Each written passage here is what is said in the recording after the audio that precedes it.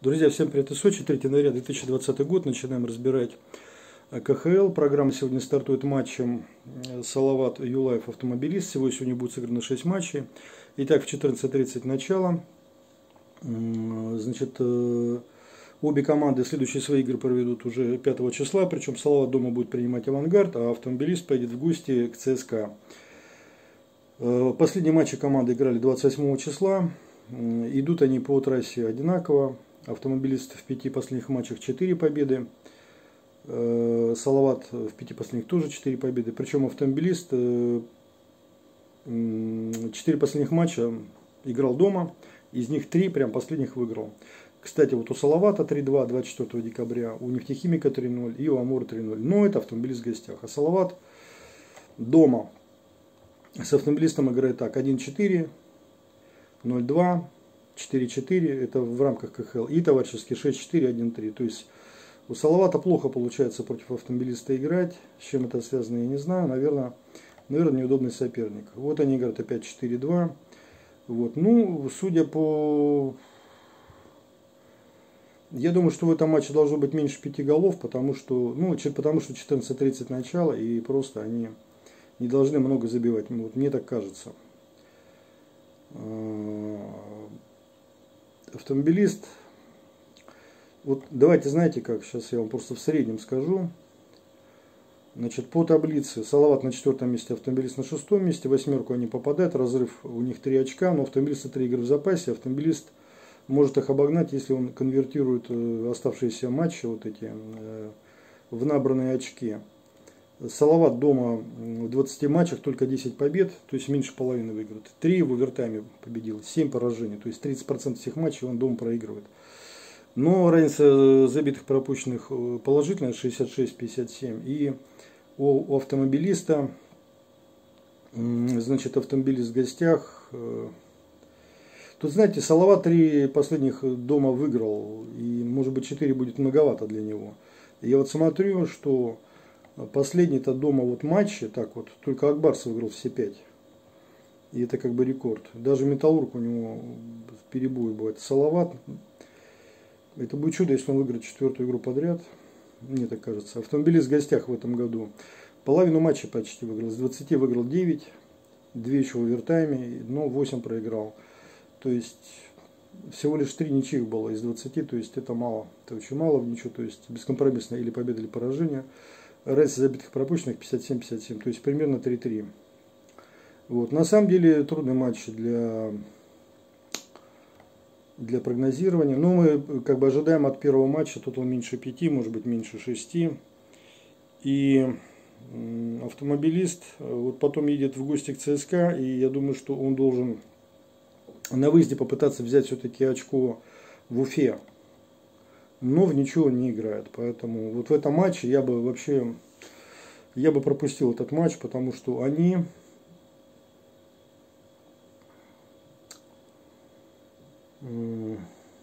нет четкой тенденции. Но последние два матча автомобилист у них выигрывает. Вот 20 год, 19 год, именно в Уфе. Выигрывает. И выиграет автомобилист. То есть Салават у них, но ну, в 2019 году Салават обе игры выиграл 4-2, 2-1.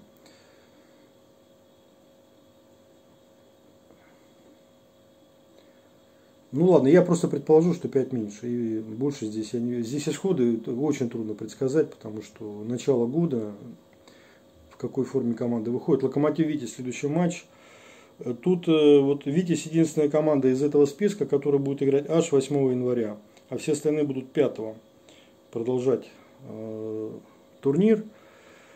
Вот, и поэтому Витязя э, небольшое преимущество есть только в том, что он может костями лечь и в этом матче значит, показать все, на что он способен, и оставить там все силы, потому что ну, будет понимать, что у него следующая игра только через 5 э, дней. Причем дома он будет принимать Сочи. Э, Локомотив две последних игры проиграл на выезде и ему надо притормозить и брать очки. И вообще в пяти последних только две победы, причем дома на Северстале над Сочи, то есть дома нормально.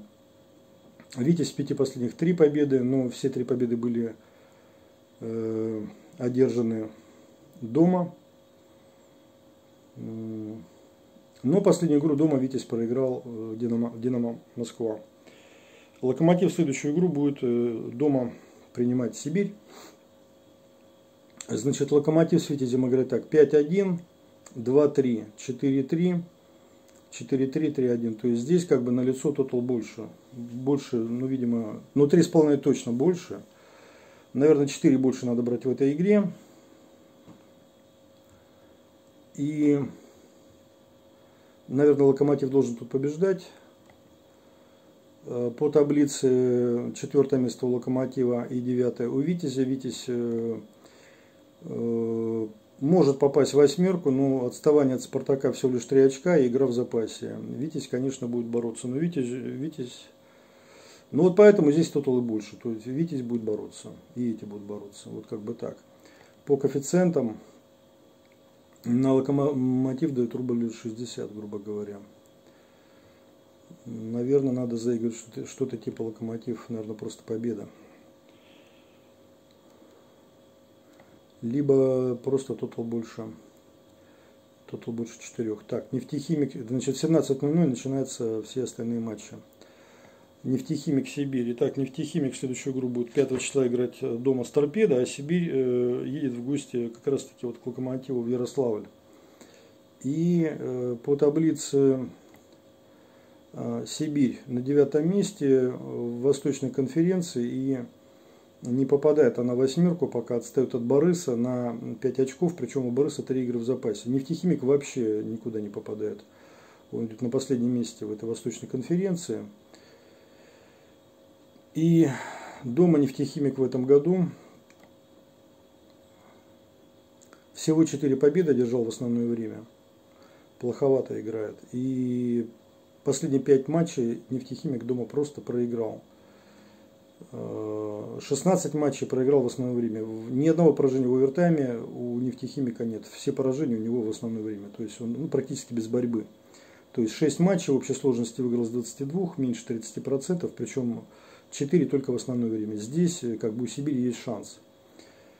Э, у Сибири шанс. Э, Сибирь в гостях в этом году из 18 матчей 6 выиграла, то есть 30%, 33% выигрывает. Разница шайб 40-45, то есть что-то типа 2-2. Вот. Ну и смотрим, как они между собой. 1-3 Сибирь, 6-3 нефтехимик. 1-1, 4-4, 4-1. Ну, в общем, э, тоже трудно что-либо предположить, потому что надо посмотреть коэффициенты. 3.30 на нефтехимик и рубль. Давайте знаете, как Сибирь не проиграет. Учитывая, что два, двойку дают на Сибирь, да. Должны они зацепиться и побороться. И все-таки Сибирь, она ей надо восьмерку попадать. Так. Попадать ей надо восьмерку, и ей нужны очки. И она должна брать у нефтехимика, у, которого ну, какие-то теоретические шансы сохраняются, но он прекрасно понимает, что ничего у него не получится. И нефтехимик довольно-таки большая у него большие тоталы у нефтехимика, когда он играет дома. В 22 матчах 51 шайба забита и 77 пропущено. То есть это больше даже, чем где-то 2-3, 4-3, вот так вот он проигрывает.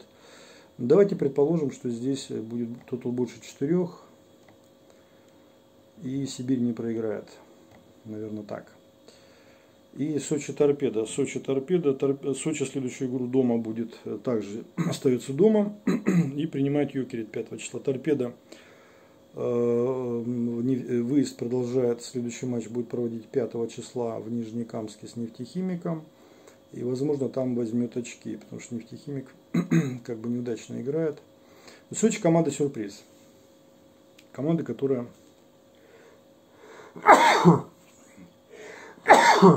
извините, Сочи команда, которая способна преподнести сюрприз. Ну, вот коэффициенты такие. 2,60 на Сочи, 2,30 на торпедо. Уже непонятно ничего. 30 числа обе команды играли. Причем Сочи играла...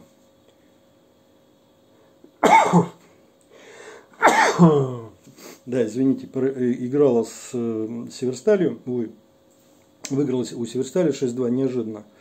А торпеда три матча подряд выиграла дома. У, значит, соответственно, у Сочи 23 декабря у Риги 3-2 и у Локомотива 6-5. То есть Торпеда забивает, э, ну это дома, 3, 4, 6 и так далее. Вот с Берсом только 2. Значит, Сочи они играют так. 1-0 последняя игра, 22 февраля аж э, прошлого уже года. 5-4, Сочи 3-1, 5-2-1-0. То есть Сочи с ними играют удачно, удачно, хорошо. Отматываем назад 4-2 Сочи. Вот последнее поражение торпеда было в 2016 году 1-2. 0-1, 3-4. То есть вот э, было три победы подряд торпеда в, Сочи. И потом в 2014 году опять Сочи 4-1, эти 1-2. Вот как-то у них обе полтора больше у них э, не всегда проходит. Вот за больше чем за 10 матчей у них проходило это только раз, два, три, четыре, четыре раза проходило. Вот. Но вот 19 год они играют 5-4, и 19 и 18 год они играют 5-2. То есть на тотал больше и Сочи победа. То есть Сочи как-то Давайте предположим, что Сочи забьет больше полтора гола здесь, наверное. Вот. Наверное, как-то как так. И э, Сочи им не проигрывает больше как бы одной шайбы. Вот. Учитывая коэффициент такой 2,60 на Сочи, я предположу, предположу что Сочи должен здесь не проиграть Сочи дома, потом с Юкеритом. А торпеда поехала на выезд. Да, поэтому какие у них планы? Ну и смотрим, что у Сочи сохраняется теоретический шанс на попадание в финальную восьмерку, если они будут играть без э, перерыва и выиграть у всех без перерыва, извините. Значит, ну для этого нужно как бы идти по накатанной. И все-таки учитывая, что Сочи это стадион олимпийский, что тут Олимпиада была, я там был на Олимпиаду, я ходил на Россию и Финляндию. То есть надо стадион задействовать, а чтобы стадион задействовать, они должны попадать в финал. Может быть, их будут тянуть за уши, тянуть за уши, чтобы они пошли в Кубок Гагарина. Торпеда идет в своей группе на седьмом месте, то есть торпеда может очки и подарить. Вот, поэтому давайте я предположу, что Сочи не проиграет. И Сочи полтора больше, может гола, как-то вот так вот. Потому что коэффициента я не вижу. Так, ЦСКА Йокерит. Здесь политическая, политическая подоплека, потому что Москва против Хельсинки – всегда это было такое. После 1939 года потом э, мы очень с финнами хорошо дружили, настолько, что они даже на нас не напали. Э, как бы не напали, но, в общем, объявили там нейтралитет и так далее. Ну ладно, суть не в этом. Их нужно тоже тащить за уши, чтобы они не обижались. И 27-го играл ЦСКА, ЦСКА отдохнувший, а Юкерит играл 30-го. У это три победы подряд, хватит ему выигрывать. Четвертая победа подряд будет чересчур. А у ЦСКА два поражения подряд. И три поражения подряд ЦСКА будет тоже чересчур. Поэтому ЦСКА здесь должен побеждать. Рубль 60 на это дают, и, пожалуй, все на этом. Потому что ЦСКА, ну, просто вот должна прерваться серия. Тем более в Москве последнюю игру выиграл Юкерит. И играли они достаточно давно, полтора года назад в Москве последняя игра была. 0-3 Юкерит. Поэтому ЦСКА должен брать реванш за поражение. И в 2018 году было 5-0 в пользу ЦСКА. Опять же в 2018 году Йокери 2-1. И ЦСКА 2-0, 4-0. То есть ЦСКА, если выиграет 2-0, 4-0, 5-0, а проигрывает 0-3. То есть обе забьют у них даже не, не, не проходит. У них только один раз было обе забьют. Поэтому здесь тотал меньше. Вот тотал меньше 5 у них. Вот так. Вот так получается, ребят. И они следующие игры проводят ЦСКА сидит, будет э, ждать дома автомобилист 5 января в гости. И Йокерит едет в Сочи. У Йокерита выезд. Йокерит, наверное, будет, будет думать, что, наверное, Сочи будет попроще как-то. С ЦСКА, наверное, придется как-то как-то поддаться, как-то отдаться, расслабиться и получить удовольствие. Вот. Йокерит идет на пятом месте в восьмерочке, очень хорошо у него дела идут, он прям поднялся. Но плотность очень высокая, большая очень плотность в этой восьмерке, потому что у Йокерита 45 очков, да, а идущий ниже, вот Северсталь 45, Динамо Минск 45 и Спартак 44. То есть одна осечка и Йокерит вылетает из восьмерки. Но я думаю, что Йокерит будет брать свои очки в Сочи, а Сочи думает, что он свои очки будет брать с торпеда, а Юкеру это подарит. Ну, вот примерно такой расклад. Динамо Минск Авангард, последний, последний номер сегодняшнего шоу. Ну, минчане в этом году удивляют. Вся команда болела коронавирусом, они там боролись и побеждали там в октябре, там после того, как все выздоровели. На авангард тут больше котировки склоняются. Значит, Минск играет следующую игру дома против СКА в Минске. Авангард э, едет в гости к Салавату после этого. То есть Авангард это омская команда, которая базируется, по-моему, в Балашихе. Не знаю, там у них ремонтируется их этот самый Ледовый дворец. Вот, и, значит, э, давайте по таблице посмотрим. Минск идет, э, да, вот на седьмом месте в этой восьмерке, и он должен в ней и остаться, скорее всего, потому что это вопрос политический. Авангард идет в Восточной конференции на втором месте своей восьмерки, он, он уже не вылетает, и Итак, московская команда, пускай это и Сибирь, перенасыщены московские команды в этой восьмерке, то есть их присутствие, оно слишком большое. Тут и Витязь, тут и Динамо Москва, и ЦСКА, значит, Москва, Москва, слишком много. Значит, надо немножко это подвинуться, да, дать другим. Дать другим. Поэтому у Минска есть шанс в этой, в этой, встрече. Коэффициент на Минск очень высокий дает. 4,07 Бетбум дает больше всех. Итак, смотрим э, личные встречи.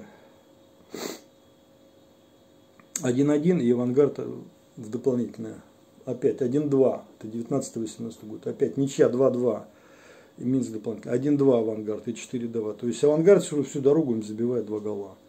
2-2-2-2. То есть ни, ни разу больше двух голов авангард не забил. Вот прям подряд 2-2-2. И в последний 1-1. И, значит, то есть здесь можно взять тотал авангарда меньше трех. Наверное, вот так вот попробовать, да? Что авангард не забит больше трех, больше двух с половиной. На ваш выбор, потому что какие коэффициенты ваша контора дает, посмотрите, да? Вот, и поэтому, исходя из этого, что Авангард много не забивает и Минск много не забивает, либо общий тотал будет меньше, либо Минск фора, либо Минск не проиграет. Потому что вот больше одной шайбы они ни разу не проиграли. Давайте так, фора на Минск э, плюс полтора. Вот таким вот образом, потому что, ну, вот пять матчей, да, и ни разу Авангард у них не выиграл больше, чем в одну шайбу. То есть плотная борьба, тяжелая такая, да, и у них э, ну, счета такие 1-2, 1-2, 3-2, 1-2. Ну, вот это начиная с 2015 года. И вот последние игры они играли 30-го. Минск проиграл.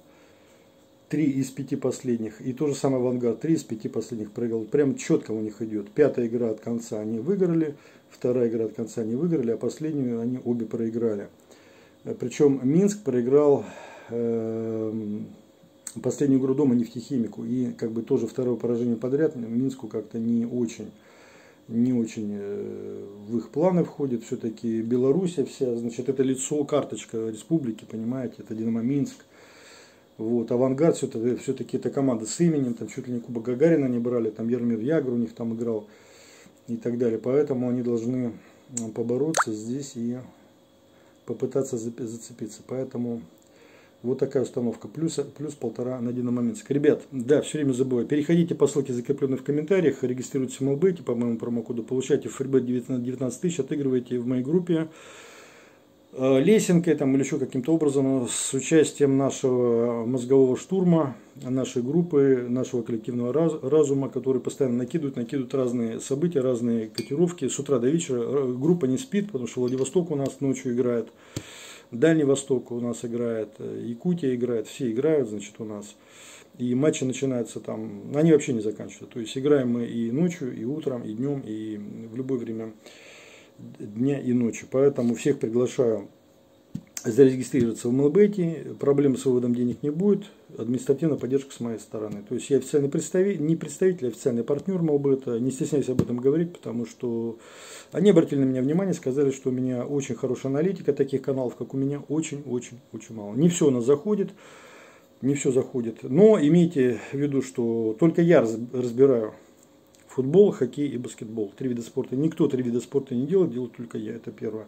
И такие длинные ролики только у меня, больше ни у кого. И я не претендую на какие-то лавры, я не претендую, значит, на то, что я прям ясновидящий. Вот разбираю так, как разбираю. По хоккею сегодня мало понятного, честно вам скажу. Поэтому очень много футбола сегодня, и сегодня еще и будет и баскетбол. Поэтому ждите остальные ролики, обязательно подписка и регистрируйтесь в. Всем удачи, пока.